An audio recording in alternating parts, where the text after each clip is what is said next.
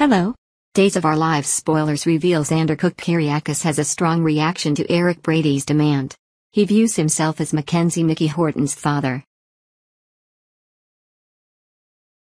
Keep reading to find out what he does about the situation. DOOL spoilers reveal Eric talks to Sarah Horton about sharing custody of Mickey. However, he isn't going to put with Xander staying in Sarah or the little girl's life.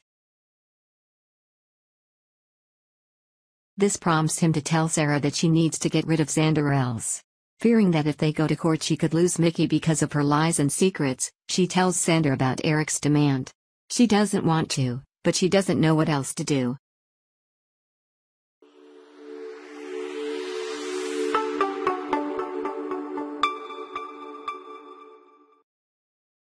As much as she cares for Xander, she can't risk losing custody of her daughter.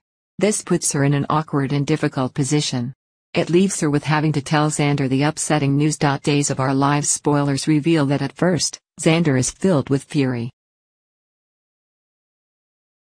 To him, Mickey is his child. He storms off and Sarah worries about what he could do. She has no fear for herself or Mickey because she knows that Xander loves them. But she does worry about him hurting Eric.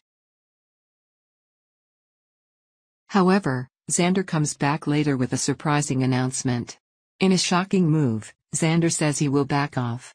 He loves Sarah and Mickey too much to cause either of them any pain or stress.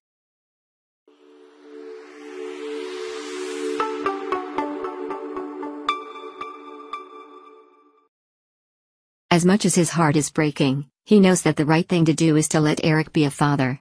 After all, it is something that he was denied for so long because of all the secrets and lies. However, is there any way for Sarah to come up with a compromise that will work for Eric? The compromise that will work for Eric? Fans will have to keep watching the My Channel soap opera to see how this storyline develops. Be sure to tune in to catch up on everything happening on DOOL right now. Come back here often for the latest in Days of Our Lives spoilers, updates, news and rumors. Goodbye see you again.